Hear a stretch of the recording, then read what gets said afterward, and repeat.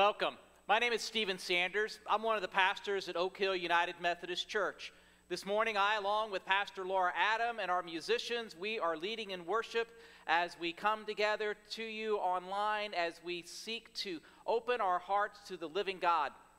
For those of you who are new with us at Oak Hill, whether this is your first time with us or you've been coming for a little while, I extend you a special welcome. I am so glad that you are taking time from your day to worship with us and to open your own heart to God. If you are new at, to us, with us at Oak Hill and would like to know a little bit more about the church, if you would just type in the word connect into your Facebook feed, and one of our monitors will follow up with you and let you know a little bit more about Oak Hill. For all of us, as we gather online during this season of life, I think it is crucial that we spend time visiting and connecting with one another. And since we're not able to be chatting with one another in, in, worship and out in the parking lot and in the and in the lobby, I ask you to do that online. Just just say hello to your friends and greet one another. I think that's an important part of our time together. And also, I, I invite you to, to take time and prepare your space at home. Where, where, wherever it is you're watching, whether that is um, at a kitchen table, in front of the TV, or if you are um, out in a park somewhere, just, just take time and, and prepare space. And if you have a candle of some type, um, if you would get that available. In, in the church, we use candles not necessarily for light, but as a symbol. It's a symbol of the, the light of God, the love of God's loving Christ that shines into this world. So if you would prepare your own heart this morning, and if you would get your candle ready. And then, as our organist prepares her prelude, if you would light a candle in your own home or wherever you are, remembering that the light of God's love shines into this world and into your life. Will you prepare your heart for a time of worship?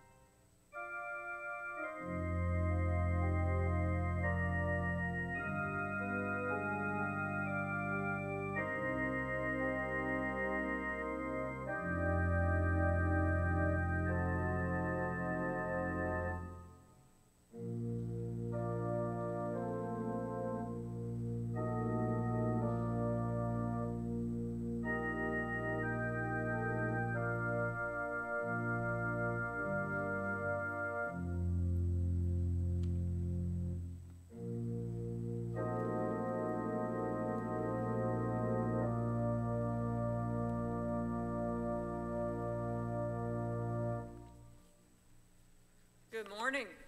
This is a day the Lord has made. Let us rejoice and be glad in it.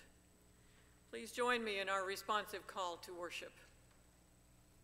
Jesus said, Follow me. We don't We don't always always know know what that that means. means.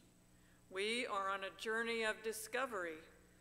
We, We want to be made whole again. We want to be God's people. Let us place our hope in God. Let us worship God with great thanksgiving.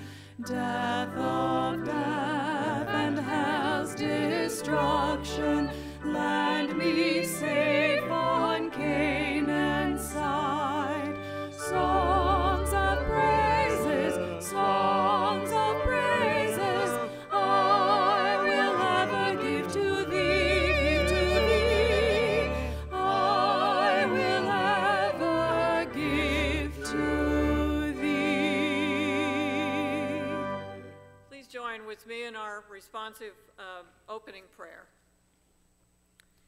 O God, source of life and grace, we confess that we are often prisoners of fear and habit. Through the healing touch of Christ, set us free to live and to love, that we may be the people you have created us to be. Help us walk in the Spirit of Christ and serve as agents of your change, even when the risk is great. We pray in the name of the Savior of the world. Amen. Please join with me now in prayer.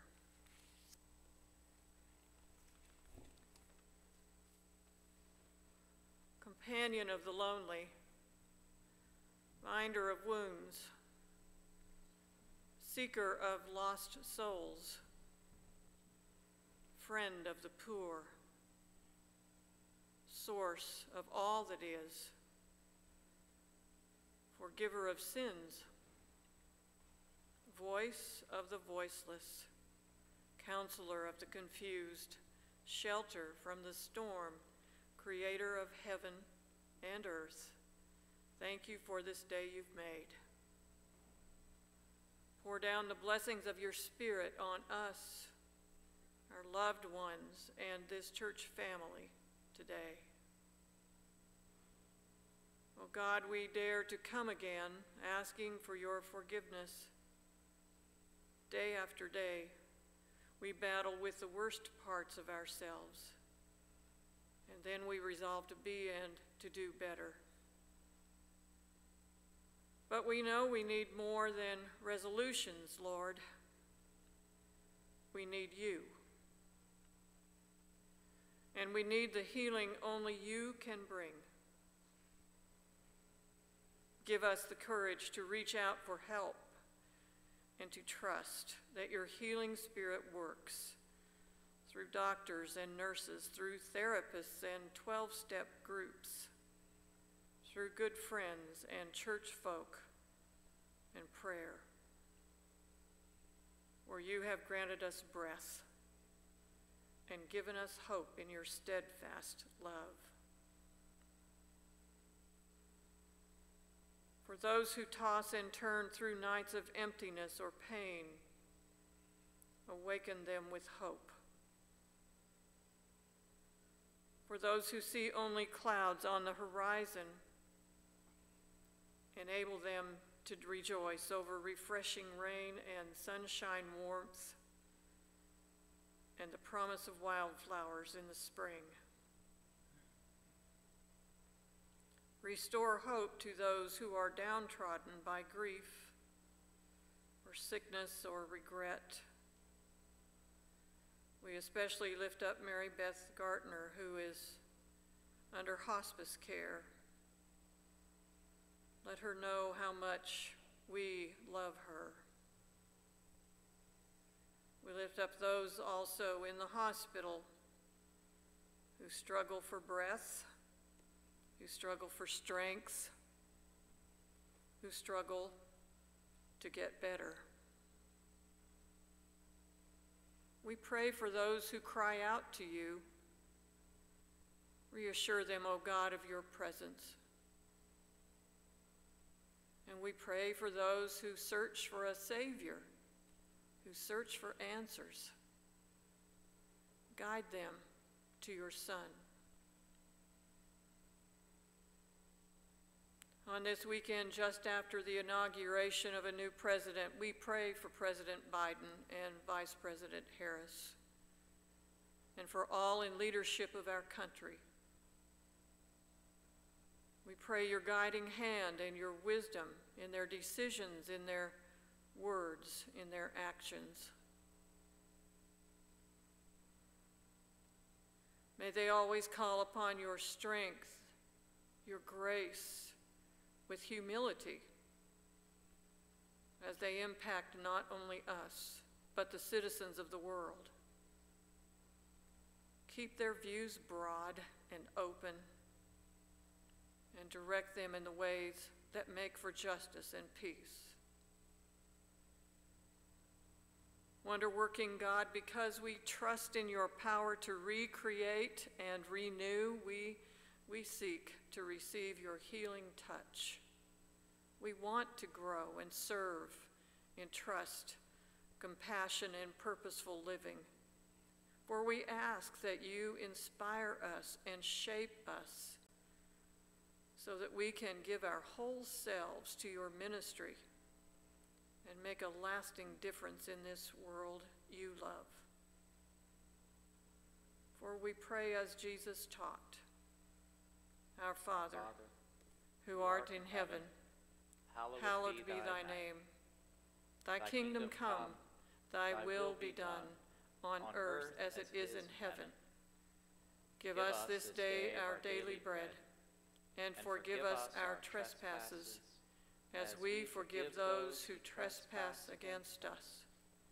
And lead us not into temptation, but deliver us from evil. For thine is the kingdom, and the power, and the glory forever. Amen. And now, we're going to ask everyone who thinks they're a child at heart, young or old, or in between, gather around for a time with Miss Jennifer. Good morning, guys. I hope you're doing well. So, I wanted to show something to you. Um, it's one of my favorite treasures. So, this is a quilt that my great grandmother, Ora Maud Riffle, made. And every time I snuggle up with this blanket, it reminds me of her. Um, and you know, this quilt, it's not very fancy or anything, um, but I love the beautiful colors and the designs that she stitched with it in her with her hands is just so beautiful. And you know, at one point, this beautiful, warm, functional quilt was just a pile of bits and pieces of fabric. They just weren't made into anything. And I love this quilt. Um, but I thought of something. I've never made a quilt. And I thought, I can make a quilt. And so, look, I brought all these scraps of fabric. And I think that if I just take all these scraps of fabric and I throw them into the air, when they land, they'll be a quilt. Don't you think? You think that'll work? Let's try it. Okay. Cross your fingers. One, two, three. Here we go. Oh. It didn't work. Hmm. How many of you really thought that would work? How many of you really thought Miss Jen has lost her mind? Well, I agree.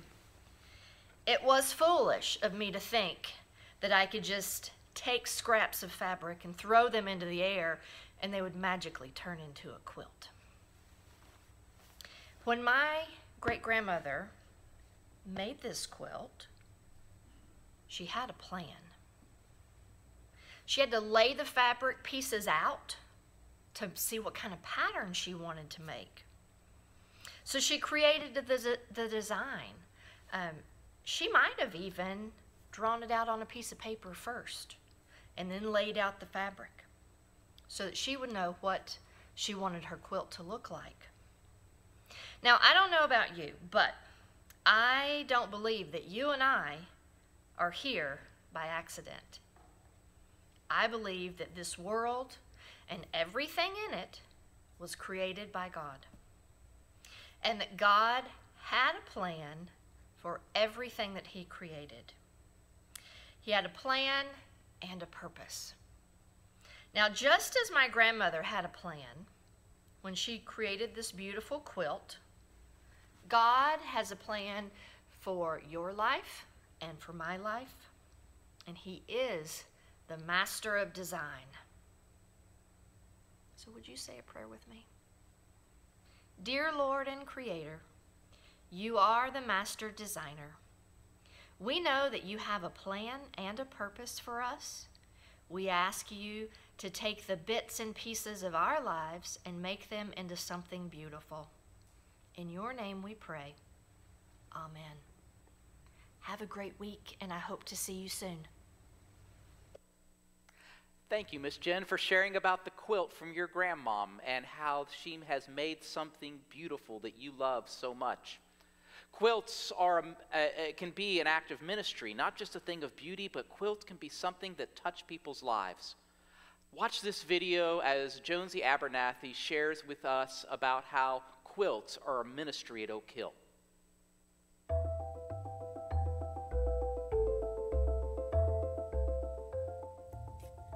Good morning, church. I'm Jonesy Abernathy, and I'm a member of the Dorcas Circle.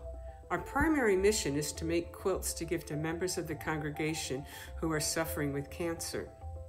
Under the direction of Linda Moore, we cut, sew, iron to create beautiful quilts. Scripture is written on them and they are prayed over and then given to individuals in the church to show that they are wrapped in God's love. We have recently expanded to providing quilts to victims of the sex traffic in Austin by giving quilts to the refuge in Nicole's Place. We create pillowcases for the Salvation Army that are given to children who stay in their shelters. There are about six to eight women, although men are welcome, who gather monthly to work uh, create this. And it's amazing what so many caring hands can create. Much of the material we use has been donated to the church, as well as the two sewing machines. That represents the care and the support of our entire congregation to this mission. I moved to Austin about three and a half years ago, and it was a difficult move. To find the Dorcas Circle was a blessing because I could walk up the stairs and be welcomed by a group of caring, friendly people. I could work with bright colors and beautiful quilts. I quickly found a place where I could use my talents and interest in sewing to create something that would be helpful and loving to others.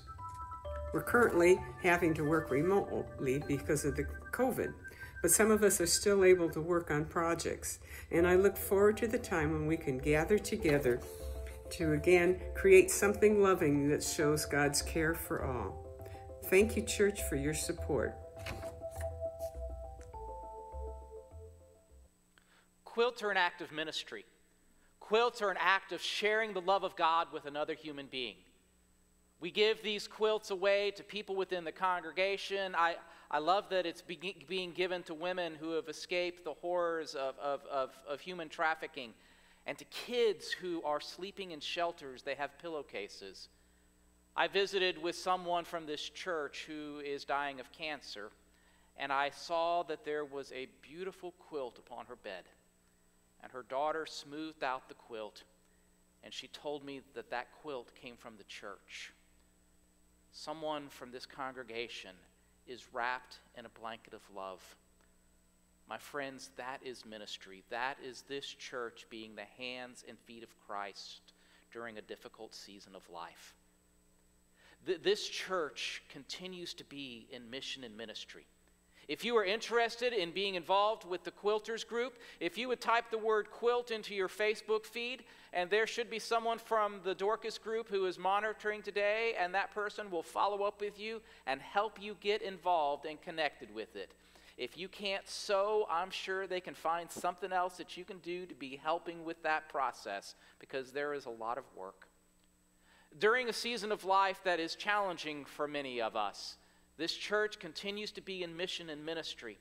And whether you can quilt or whether you can sing or whatever, there are opportunities for you to live as the hands and feet of Christ. And one of the ways that you can be in ministry during this time with this church is through, your, through offering of your own self and your resources. When you give of your time and energy and financial resources to love and bless the lives of others, that is an act of faith. And God somehow is able to use that to bless people's lives. Whether you give online or whether you give through our website or, or writing out a check and, and, and mailing it into the church, I want you to know that your generosity is a spiritual act. You are joining with God and you are joining with one another and you are offering a piece of yourself. As Cheryl lifts her offering to God in music today. I invite you to lift your own life to God and offer of yourself and use this time to offer of your resources and to lift your hearts in prayer to God. Thank you for your generosity. God uses it to touch people's lives.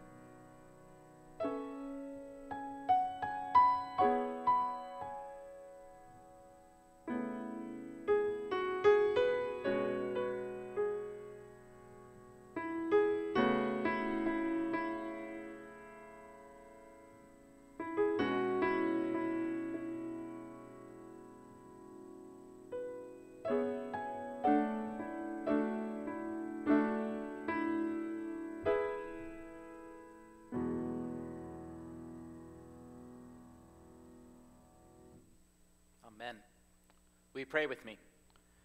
Gracious and eternal God, we pray that you open our hearts and minds by the power of your Holy Spirit.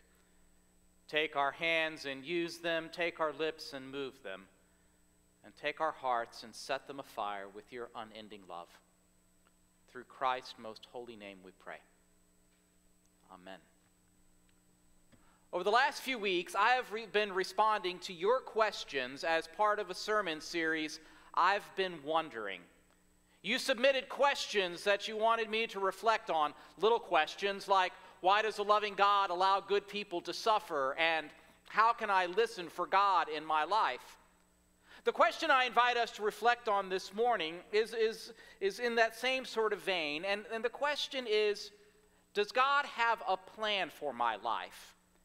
And a corollary question that some people submitted if so, what is that plan? As Sydney reads our scripture passage from the book of Jeremiah this morning, listen for what it says about God having a plan for our lives. Jeremiah chapter 29, verses 11 through 14. I know the plans I have in mind for you, declares the Lord. They are plans for peace, not disaster, to give you a future filled with hope. When you call me and come and pray to me, I will listen to you. When you search for me, yes, search for me with all your heart, you will find me. I will be present for you, declares the Lord, and I will end your captivity. I will gather you from all the nations and places where I have scattered you and I will bring you home after your long exile, declares the Lord. Beautiful, Sydney. Does God have a plan for our lives? Some of you may have heard that scripture passage and said, Stephen, weren't you even listening? See, behold, uh, the, I, I know the plans that I have for you, says the Lord. It doesn't get much clearer than that, does it? God has a plan for our lives. And some of you may wonder, why is that even a question? Well, because it is a question. It's a question that many people ask in their own lives. I have a friend who is a college chaplain, and she tells me that her students ask that question in one way, shape, or form all the time. Does God have a plan for my life? What, what do you think I should major in? What do you think God would like me to do once I graduate from school? What, what career should I go into? Does God, want me to, does God want me to marry this person, or should I keep dating other guys? We ask that question in all sorts of ways. And my friend has a ready response when people come to her with that question. She says, I know God has a plan for your life. And she, they say, You do? And she said, Yes, and I know what God's plan is for your life. You do? What is it? Before I tell you what my friend tells her college students about God's plan for your, their lives, let me share with you a little bit about the spectrum that Chris, of how Christians have responded to this question. At one end of the theological spectrum on how, whether God has a plan for my life is, is a perspective known as strict determinism. Strict determinism has an understanding that, that, that, there, that what happens in this world is defined by God. The person who is best associated with strict determinism is a man by the name of John Locke. He was a, a preacher in the, the 1500s in Switzerland. And, and Locke wrote this. He, he wrote at one point, No wind ever ri- rises or rages without God's permission. Calvin and strict determinists assume that God is sovereign. And therefore, anything, anything that happens in this world is at the hand of God. At one level, strict determinism is very simple. If it happens, it's part of God's plan. Who you marry, whether a pandemic hits, if it happens, it's part of God's plan. At another level, though, strict determinism is simplistic. It makes God into some sort of divine puppeteer, and we humans are merely puppets upon the divine stage without any freedom to choose our own course in life. At the other end of this theological spectrum is something that known as deism. Deism assumes that nothing is part of God's plan. Many or most of the founders of what became the United States were deist.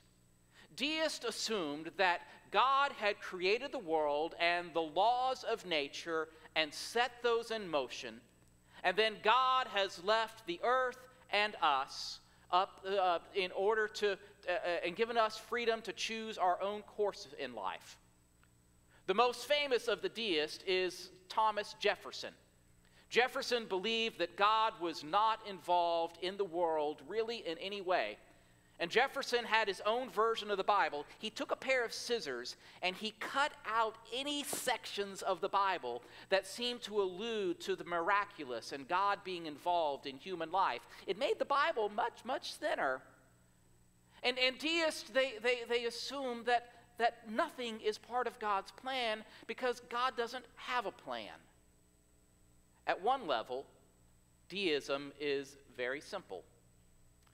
Nothing that happens is part of God's plan. It's simply a, a, random forces of nature and how we human beings decide to respond. At another level, though, deism is also simplistic. It makes God into some sort of absentee landowner. And we humans are simply alone in this universe, left to our own devices. I believe that the truth, the truth, probably lies somewhere between the two extremes.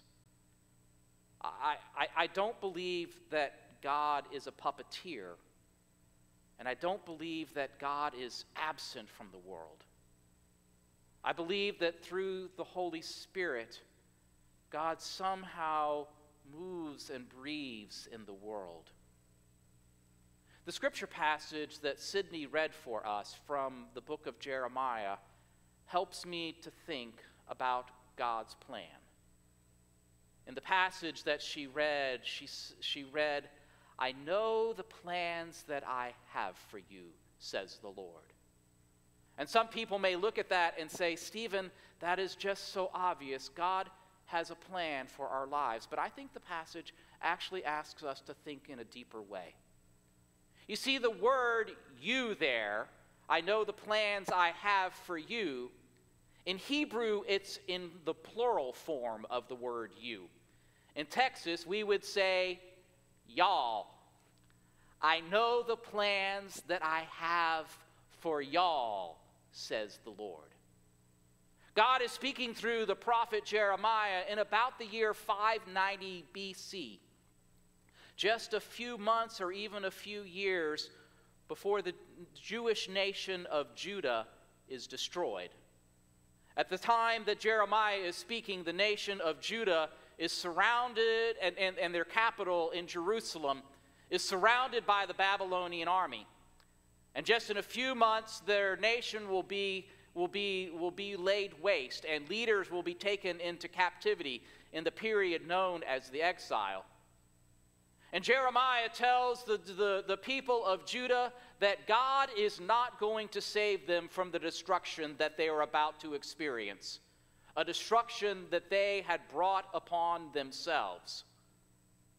Yet neither, says Jeremiah, will God desert them, that God has a plan for them, a plan for a future, a future with hope Jeremiah reminds the people that though their nation will be laid waste, that God will not give up on them. And that God will eventually lead them back from their period of destruction and will work with them to heal their broken land and offer them a future with hope. That is the plan that Jeremiah is talking about in the book that bears his name.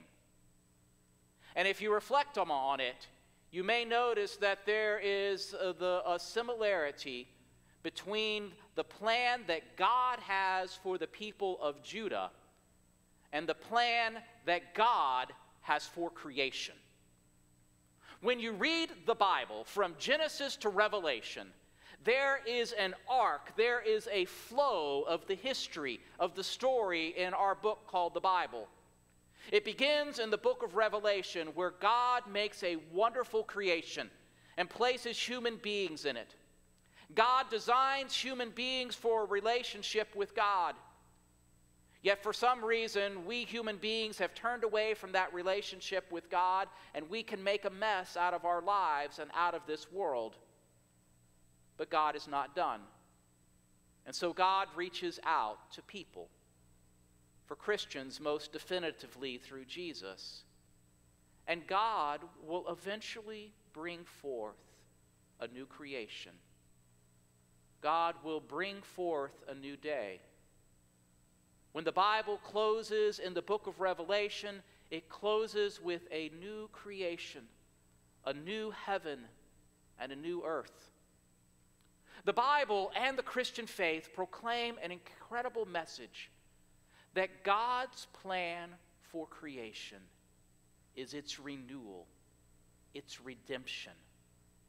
God will bring forth a day when the lion and lamb lay down with one another and where all humanity lives in peace with God and with one another. Now, that plan that the Bible proclaims may sound naive to you, but it is a plan for which we pray every week when we pray the Lord's Prayer Thy kingdom come, thy will be done on earth as it is in heaven. When we pray the Lord's Prayer, we are praying for God's plan for the redemption, the salvation of creation. You see, the Christian faith proclaims that the world is not headed to hell in a handbasket. Despite the appearances, God has a plan for this world. Despite our division, and discord, that God is at work in this world, and that there is an arc to the flow of history.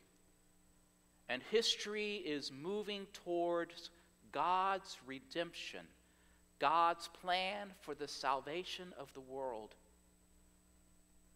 You see, to, to believe in the God revealed in Jesus is to believe that God moves and stirs in this world. Through the Holy Spirit, God has been at work through history. And God is working for the day when God's plan for the redemption of the world is fulfilled. And to believe in this God is also to believe that this God is at work not only in the world, but in our own lives and through the Holy Spirit, God blows upon our own lives to guide us and, and direct us so that we can live into God's plan for our own lives. How do we live into God's plan for our lives? Well, one way we live into God's plan for our lives is to simply live faithfully wherever we find ourselves. When my friend, the college chaplain, hears students ask, What do you think God's plan for my life is? She responds, I know your God's, God's plan for your life. Well, what is it? They asked. It's to love. Huh? It's to love. God wants you to love God, others, and yourself fully. You don't have to go looking for God's plan. Jesus has told us what God's plan is that we love fully in our own lives, that we love God, others, and ourselves wherever we find ourselves planted in life. That is the exact message that the prophet Jeremiah gives to the people of Judah three sentences before what Sydney led, read this morning. Jeremiah tells the people when you find yourself in exile, build houses, get married, raise children, tend your garden, look out for people in your community, love wherever you find yourself. And when we love wherever we find ourselves, my friends, we are living into God's plan for our lives. Now that, that answer doesn't, didn't satisfy all of her students, and I suspect that her answer may not satisfy you either. So my friend continues up the conversation with her students. They ask, Yeah, but doesn't God have something specific for my life? And how do I know what that is? And her answer is, Well, that requires prayer and discernment. That it requires that you pay attention to where God is leading you in life. So let me share with you a, a, metaphor that I have found helpful in my own life about knowing where God might be leading me. The metaphor involves doors opening. You see, what I have found in my own life is that if I pay attention, I find that, that doors seem to open before me. Let me just give you some examples from my life. When I was thinking about college, I had a, a family, a, a friend from church recommend a, a college in, in Nashville, Tennessee. He said, he said I, I went there. I think you might like it too. So I applied and was accepted and a door opened before me, and I walked through it. And I left the grand state of Texas and I went off to Tennessee. And then when I was graduating from college and applying for jobs, there was a, a company that offered me a job. I really hadn't been that interested in it, I don't think, but that opportunity opened. And so I walked through that door, and it took me into a place of life I hadn't imagined going.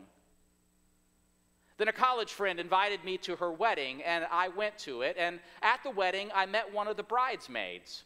The mother of the bride said, Would you take this bridesmaid out to, out to dinner? She's, she's moving to Nashville, where you are, and doesn't know anyone. Just do me a favor and take her out to dinner. So I took this young woman out to dinner, and we became friends, and then we came, became more than friends. And then I thought to myself, I think I'd like to spend the rest of my life with this woman. For some reason, she thought that she'd like to spend the rest of her life with me, and so we walked through a door together. A few years later, as I was experiencing what I have shared with you as a, a tug in my gut, my wife encouraged me to respond to it. And so I quit my job and I went to seminary and I walked through a door that led me toward becoming a pastor. Now, I'm not going to share with you my entire life history, there's not time for that. But what I have discovered in my own life is that as I pray, as I pay attention, that doors seem to open before me. Some of the doors are ones that I never would have anticipated in life. But opportunity may come here, a situation may arise there.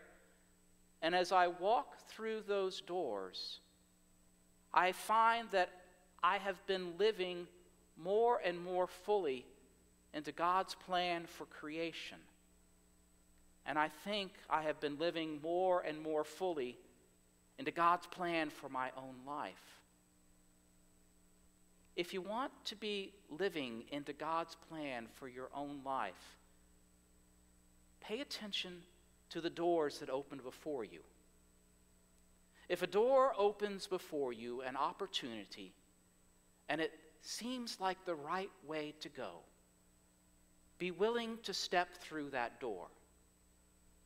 If a door closes, don't stand and bang your head against it. Be willing to move on. If you feel like you've made a mistake in life and you've missed an opportunity, don't pound yourself over the head. Trust that God will open up another door, and that will lead you in another way in life. Does God have a plan for our lives? Yeah. Do I know exactly what God's plan for my life is? No. Do I believe that God has some sort of master plan that I'm supposed to live into? I can't say that.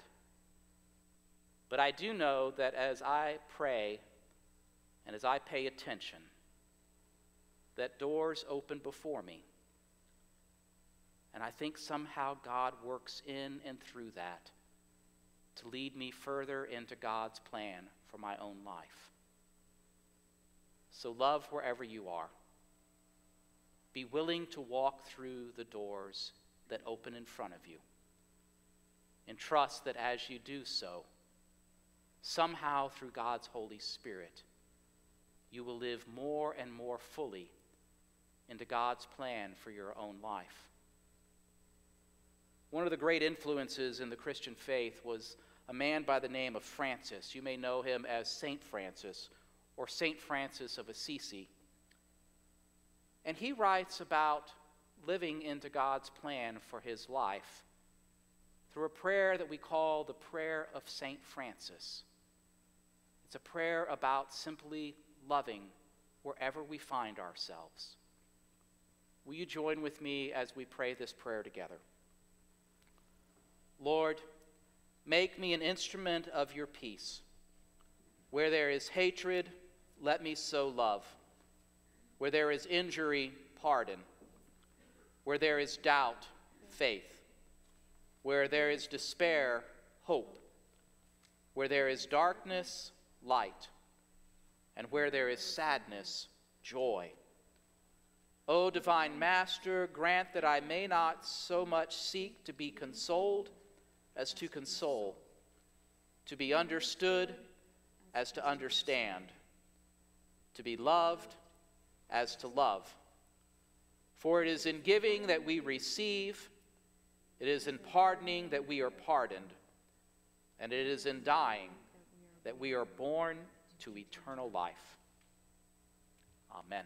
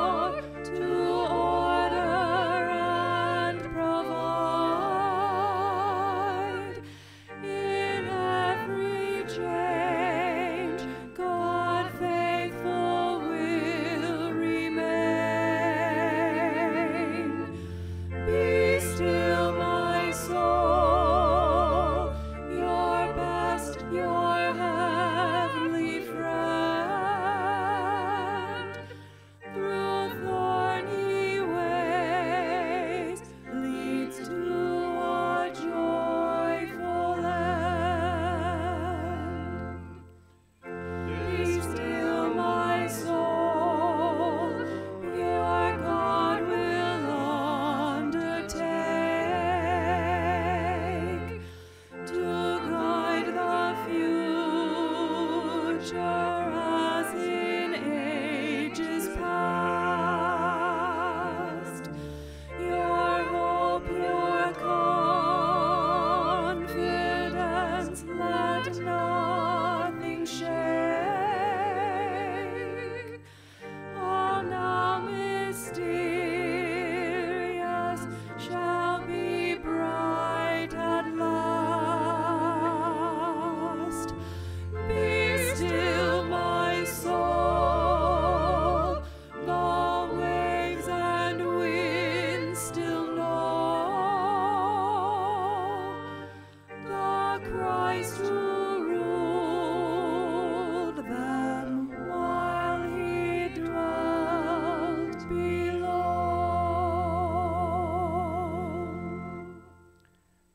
Still, my soul, the Lord is on your side.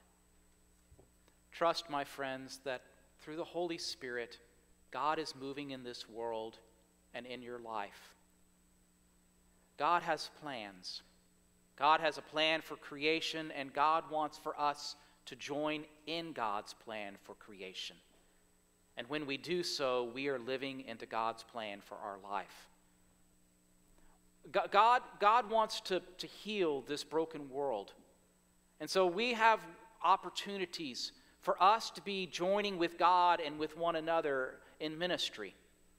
One of the ways that we as a church are responding and, and loving where we are during this crazy season of life is through caring for people who are in need. And this month, the month of January, our youth ministry is leading us in an effort to provide uh, fleece blankets and sleeping bags for our brothers and sisters who are living on the streets of Austin.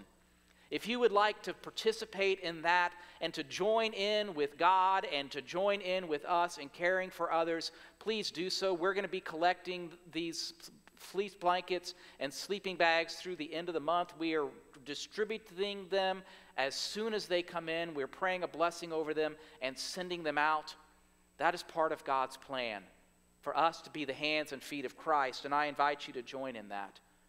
Also, I think it's important that we be nurturing our own souls so that we can be lifting our own hearts and lives to God. And one of the ways that we are doing that is through receiving communion. We are having small groups of 10 people gather currently on Sundays after worship. We have a group coming in this Sunday, and we're going to be having them future Sundays. If you would like to be part of that, please contact the church office. We are scheduling small groups so that we can maintain a safe physical distance from one another.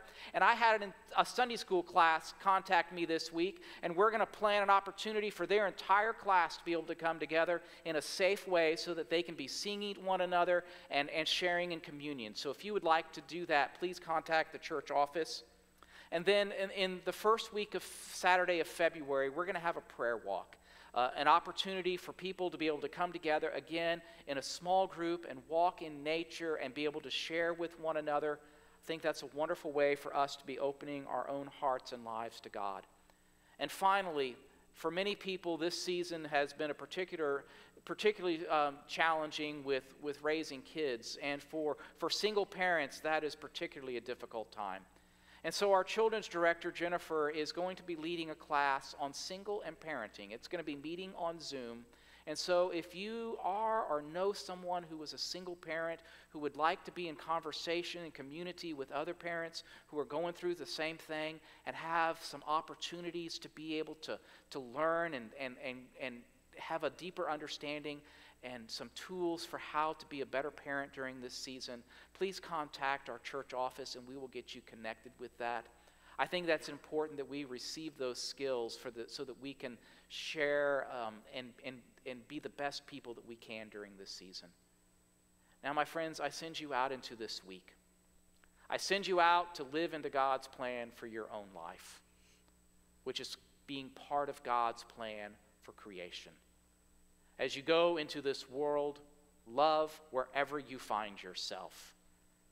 And then pay attention to the doors that open before you an opportunity, a situation, and be willing to walk through those doors that you might serve as part of God's plan for creation.